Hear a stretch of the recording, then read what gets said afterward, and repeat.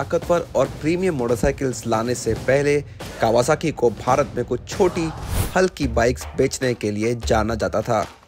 इन motorcycles को 80 के दशक में बजाज ऑटो के साथ साझेदारी में पेश किया गया था। लेकिन अब वो पुरानी बात है और 2017 से कावासाकी देश में अपने दम पर बिक्री कर रही है, ज़्यादातर प्रीमियम बाइक्स की।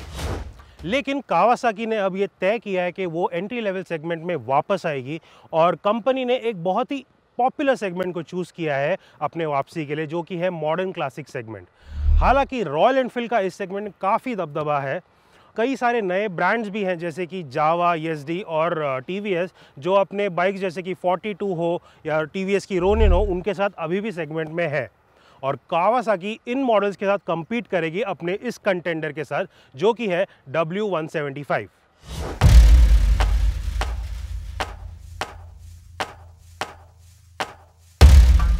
देखने में W175 60 के दशक में आई कंपनी की W सीरीज़ मोटरसाइकिल्स की याद दिलाती है।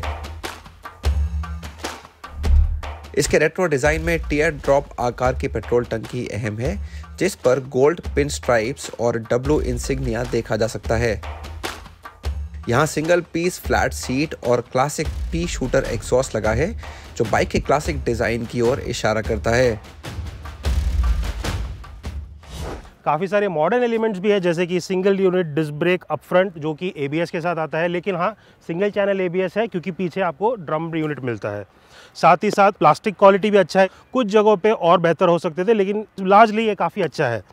मिरर्स भी काफ़ी रेट्रो स्टाइल के राउंड से मिरर्स है। ओवरऑल बाइक काफ़ी अच्छा दिखता है, काफ़ी रेट्रो लुक इसका काफ़ी अच्छा दिखता है स्पेशली इस लाल रंग पे।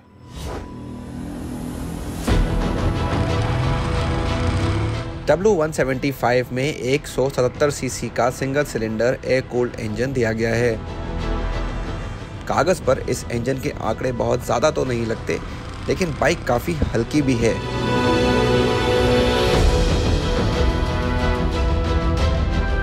परफॉर्मेंस बुरी नहीं है, लेकिन इससे भी बढ़िया बात है इंजन का रिफाइनमेंट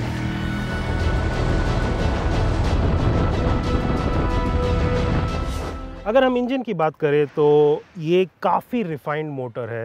आ, ये एक 177 सीसी का air cooled single cylinder unit है जो कि अराउंड 12.8 बीएचपी बनाता है अराउंड 13 न्यूटन मीटर्स का टॉर्क भी देता है।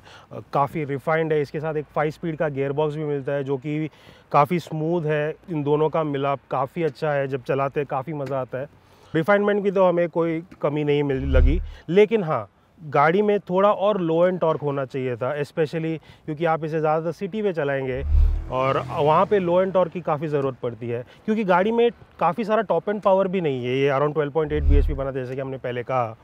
तो और थोड़ा टॉर्क होता तो गाड़ी को चलाने में और मज़ा आता, लेकिन ओवरऑल हमें इसका रिफाइनमेंट लेवल काफ़ी अच्छा लगा। वाइब्रेशंस तो बिल्कुल नहीं है इवन जब आप हायर डिजिट के स्पीड पे चलाते हैं, तभी भी आपको ज़्यादा वाइब्रेशंस महसूस नहीं होगा। स्पीड की बात करें तो ये अराउंड 100 102 तक जा सकती है बट वो उतना उतना ही उसका लिमिट है। ओवरऑल परफॉर्मेंस काफ़ी अच्छा है रिफाइंड है, लेकिन हाँ थोड़ा और बेहतर हो सकता था। W175 ख़राब सड़कों का भी आसानी से सामना कर लेती है।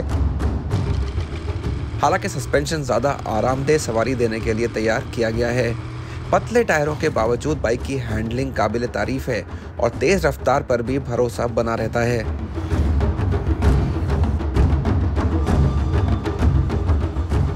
ब्रेक से आपको कोई खास शिकायत नहीं होगी। हाँ अगले डिस्क में थोड़ी सुधार की गुंजाइश है। कावासा की W175 दो रंगों में आई है और कीमतें एक लाख सैतालीस हज़ार रुपए एक शोरूम से शुरू होती हैं। हाँ 177 सीसी बाइक के लिए ये कुछ महँगी लगती है, लेकिन W175 में बढ़िया लुक्स के साथ बहुत रिफाइंड इंजन मिलता है और एक किसी की पहली मोटरसाइकिल आराम से बन सकती है। लेकिन तकरीबन इसी कीमत पर रॉयल एनफील्ड हंटर 350 और टी वी एस की मौजूदगी मुकाबले को आसान नहीं बनाती। इनके इंजन भी ज़्यादा बड़े हैं, इसलिए W175 की राह आसान नहीं है।